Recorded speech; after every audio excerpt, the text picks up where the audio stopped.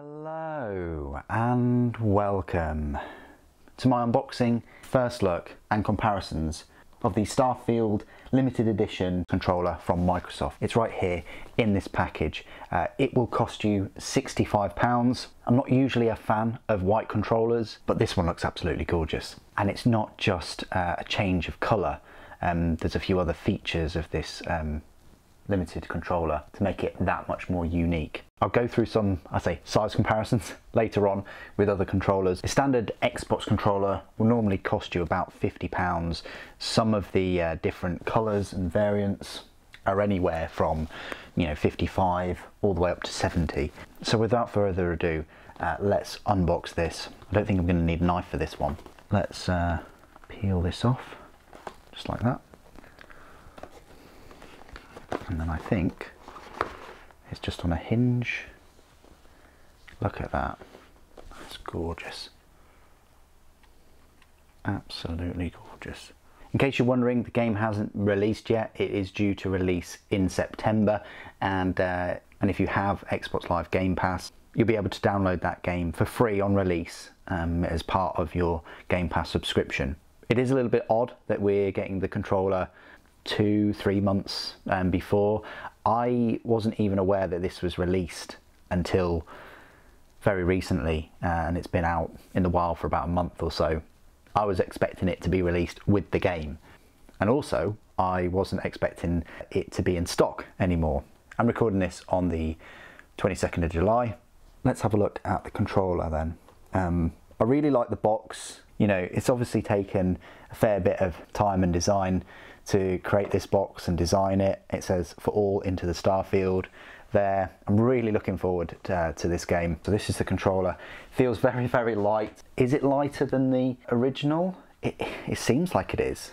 D-pad, it's great. Buttons, textured thumbsticks. It's absolutely gorgeous. So much detail on here.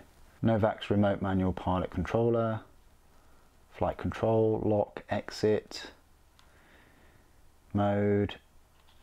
Another thing that's quite cool with this controller is the um, bumper buttons are textured, unlike the OG uh, controller. You've got your USB-C there if you wanted to um, connect it wired. Um, and I think the rechargeable battery pack could go in there. I do like the triggers. Uh, there's the little vibration motors in there. I don't know whether they're in the Elite 2.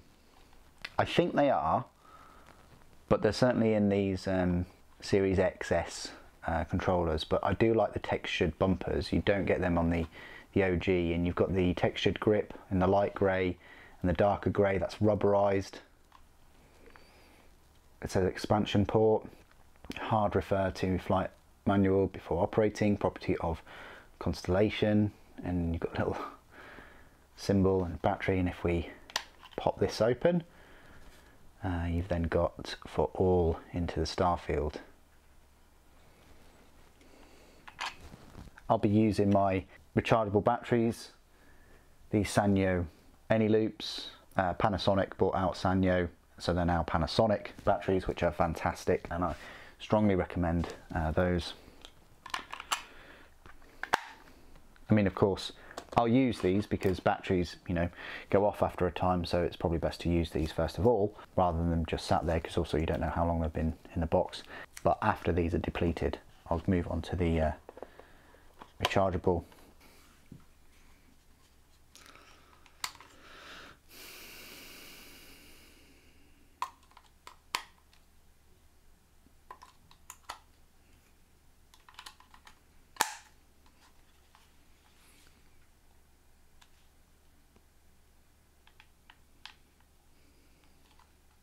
Uh, you don't get a cable or anything like that. It is just it is just the controller. Um, and you get a fair bit of paper, guide. It's very straightforward. You just turn it on, turn on the um, discover button on your console, your Series X or Series S, and it will find it. It's a Bluetooth um, controller, so it will work with your phone, it will work with your tablet, it will work with your PC, of course. Oh, it just feels very, very nice So on to the uh, size comparisons then. So here we have the OG uh, Series X controller, which uh, was bundled in with my Series X back in 2020. Can you believe it? The Series X is almost three years old. I wasn't a very big fan of this controller and I ditched it immediately for my Elite Series 2 right here, which is the, I say, older style of uh, Xbox One controller, but just beefed up. You know, this came out um, a while before uh, the Series X one did, um, and I just preferred this. Um, yes, the Series X has got textured um, plastic uh, on the grip, and it has that share button, but the actual design is is different at the top. Um, the triggers, of course, you can change the travel of the triggers. The triggers are larger. Um, with this controller, uh, you can kind of move your fingers around the triggers a little bit more, whereas the um, Series X, it feels quite close. Feels like there's only sort of one area you can put your fingers on, whereas this, the triggers are longer. Um, so you can rest your fingers. Anyway, I just thought I'd make that comparison that I, I ditched this controller straight away and um, started using my Elite 2. However, this one um, brings together mainly um, the Series X controller, but also a little bit of the Elite 2 uh, in that it's got the uh, rubberized textured grips, and it's also got these textured um, bumper buttons. So it's nice to have the textured bumper buttons, but also the textured triggers. But there's just not much room for your middle finger uh, if you're going to be using your middle finger um, for the triggers. Uh, I've got large hands, so you know if you've got smaller hands, they should be okay. So that's where it measures up um, next to these. Um, all intents purposes, it's going to be the same size as the Series X um, controller but it's going to be a little bit smaller than the Series 2. Obviously, there's a massive weight difference here. Um, you know, this has metal parts, magnetic parts as well, and it has a built-in rechargeable battery, which is fantastic. But yeah, there, there is a considerable weight difference there. Compared to the Nintendo Switch Pro controller right here, um, again, this is a great controller. Uh, I don't know what Nintendo could really do to make it better. The HD Rumble is, is fantastic on this one. Um, the grips aren't that textured though. And if I had the uh, Zelda Tears of the Kingdom um, Special Edition controller, I would say this one wins outright, mainly because all that Nintendo did for that controller is they just changed this top faceplate. They kept it um, semi-translucent, um, but they just added some Zelda artwork and things like the gold um, glyphs and, and things like that. And they changed this particular grip to a white color instead of black. I don't know whether that works, um, but they're the only two things that they changed. Uh, and for an extra 15 pounds, it's up to you whether you think that's worth it.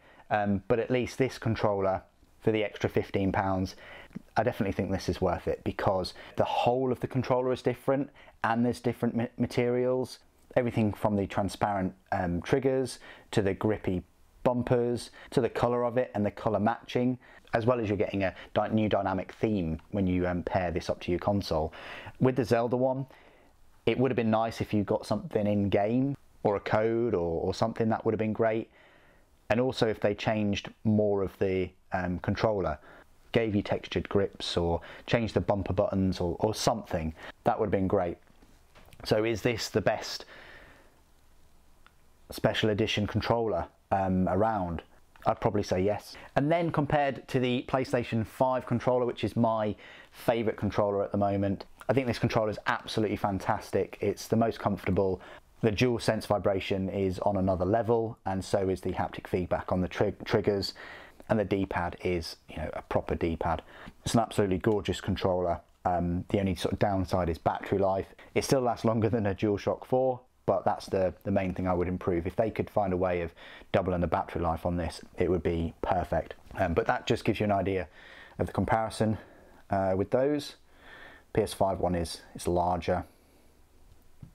And speaking of um, PS5 controllers, it's interesting to see that Xbox, that is my third least favourite console right now, is hitting it out of the park with these controllers. They're lacking in the consoles, uh, in special edition consoles, which is a bit of a shame. I'd like to see a Starfield specific um, Series X or something in the white with all the fonts and the extra little detail and things and the artwork. That would be awesome.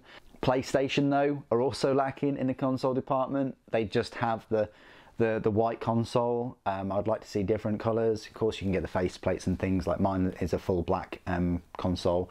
And then, of course, Nintendo uh, are definitely hitting it out of the park with their uh, console editions. But where are the PlayStation incredible controllers? I remember when they used to be gold controllers, red controllers. PlayStation used to have some really, really decent special edition controllers. And now, in my opinion, they don't. Um, a couple of colours they, they brought out don't really appeal to me. So at the moment, you've got a split between the three companies Xbox um, for the best special edition controllers, Nintendo for the best special edition consoles, and PlayStation just for the games. what do you guys think of this Starfield special edition controller? It'd be great to hear your opinions and thoughts on it. Um, please do put them down in the comments below. It'd be great to hear from you. Thank you for joining me today. Thank you for watching. The Emperor Protects.